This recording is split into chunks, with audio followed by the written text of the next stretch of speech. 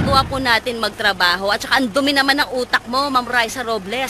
Anong sinasabi mong baka kung sino ang nakasakay dito sa eroplano ng military? Iniisip mo na may mga babae na nakasakay dito?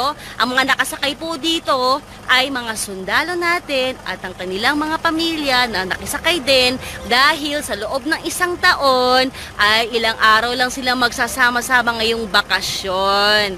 Okay, kaya Ma'am Raisa Robles, matagal na ako nagtitimpi sa'yo pero sumusobra na ang dumi.